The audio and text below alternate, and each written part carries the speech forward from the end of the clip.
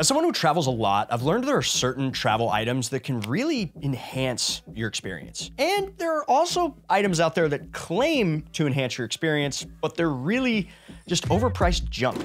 And so in this video, I'm gonna share 10 travel items I love and personally use for travel. Some of these are investment pieces, but they're high quality and in my opinion, worth every penny.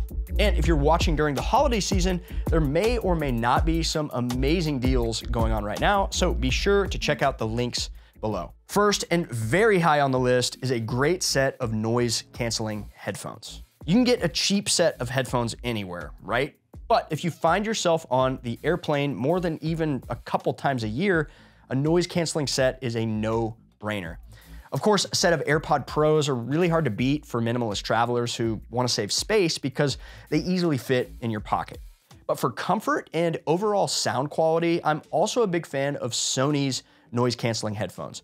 They obviously take up a little more space, but they're really comfortable. They have a long battery life and absolutely are crucial for long flights. The next travel essential I think no one will regret investing in is a good power bank. We've reviewed a bunch of options here at Away Together, but lately I'm loving the Anker MagGo Ultra.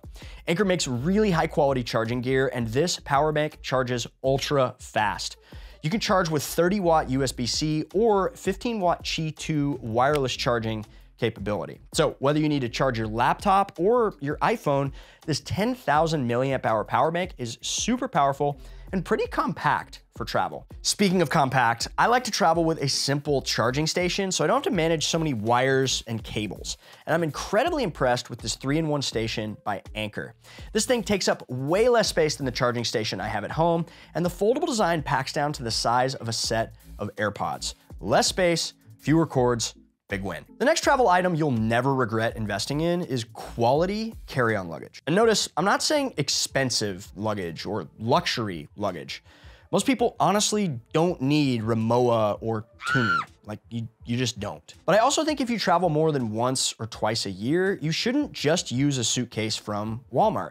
You can do really well for between 150 and $300 in my experience. That's gonna get you higher quality materials, and in a lot of cases, a lifetime warranty. A few recommendations. Let me start with suitcases. For hard-sided suitcases, I think Monos is very hard to beat. We've used their carry-ons for years now, and we've taken them to over 20 countries, and they've held up great. The shell is sturdy and dent resistant, and the telescoping handle is arguably the best on the market. The bag has smooth and quiet wheels that do surprisingly well even on cobblestones. And in a big comparison of several of the top hard-sided bags on the market, the Monos just crushed it. For soft-sided bags, Travel Pro makes amazing bags, and so does Briggs & Riley.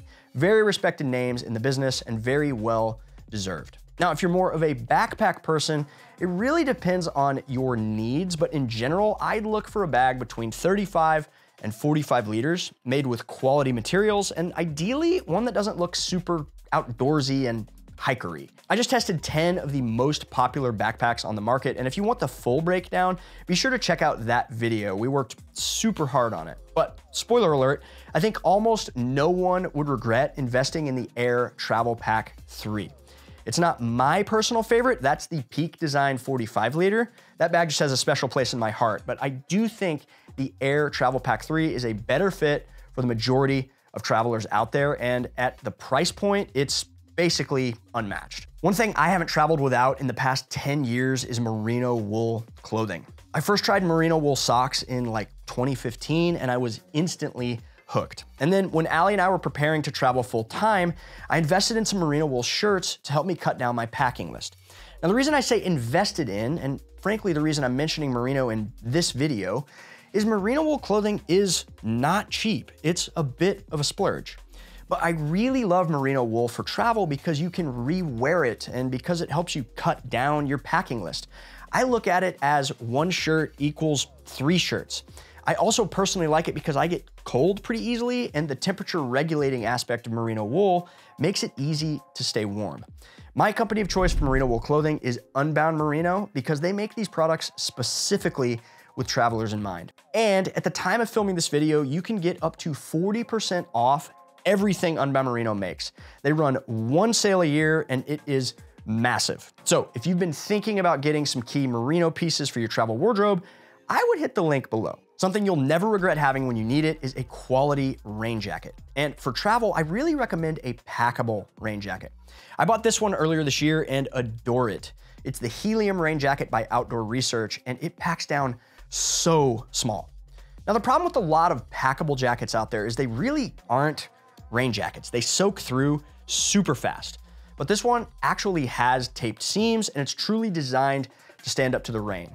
I've seen reviews where people have tested this jacket like standing under a shower head for five minutes without any leaks.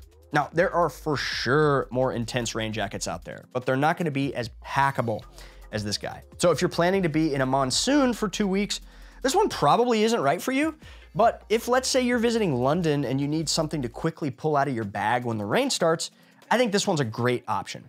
It is an investment at $170, but as far as rain jackets go, that's a reasonable price. And with Outdoor Research, you're also buying their infinite guarantee lifetime warranty. It's available in 12 color options and it has amazing reviews. Hey, if you've gotten value out of this video, I would love it if you'd hit that like button so that YouTube knows to suggest it to other travelers like you. Thank you. I like having one simple place to keep all my cables and chargers and cords, and I like to keep it in a pretty quick access place in my carry-on bag or personal item. It just makes it easy when you're on a long flight, when you need your headphones or your power bank or whatever. And a simple tech pouch is the way to go. Personally, I think a small tech pouch does the job because some of the full-size ones get a little bit bulky. I really like Peak Design's new small tech pouch. Although it's small, it doesn't lack organization. It's got origami style pockets, little elastic loops for things like a pen, little slip pockets for SD cards, spot for cables, your power bank, and the exterior fabric is a weatherproof 400D recycled nylon. It opens wide, it's easy to pack, and it keeps things where you need them. Something no traveler will ever regret is having the ability to look back on their travel experiences. And I am so grateful that I decided to start lugging a camera around with me and videoing our travels a few years ago. Because now, this is my job. Thanks to you guys. Seriously, thank you so much. But B, because Lord willing, 50 years from now, we can look back on this chapter in our life and remember what we got up to. So having a decent camera and knowing how to use it is invaluable in my mind. And by the way, I'm not about to try and sell you a $3,000 camera. But here are a few easy and low stress low maintenance ideas for you. Number one, your phone. I recently upgraded to the iPhone 15 Pro and we've been filming a lot of our travels with just that. The ProRes looks amazing. In fact, most of the top-down shots and all the UK footage you're seeing in this video was shot on an iPhone. I'm also super impressed with the DJI Osmo 3. One of the problems with video is shaky footage. Go watch some of our old vlogs and just see how shaky that is.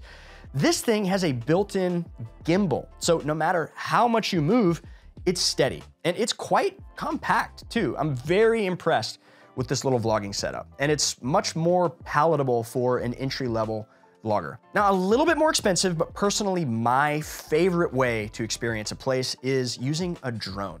I have the DJI Air 2S, and there's newer models now, but what I love about the Air series is they pack down really, really small. Okay, this isn't a piece of gear by any means, but it is something that makes travel 10 times better.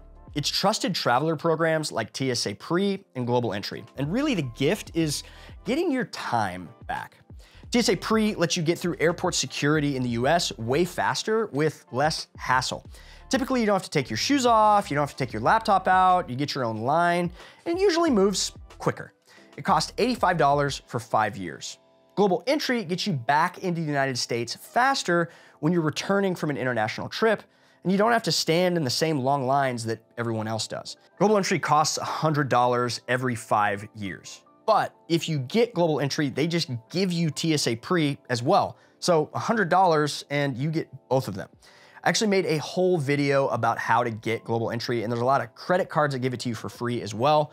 I'll link both of those resources below. The last premium travel essential worth every penny is lounge access. One easy and relatively affordable way to get lounge access is by getting a Priority Pass membership. Priority Pass is a network of over 1,600 airport lounges worldwide, and it makes it very easy for you to have a comfortable place to sit, with fast Wi-Fi, a charging station, food and drink, and in many cases, even a shower.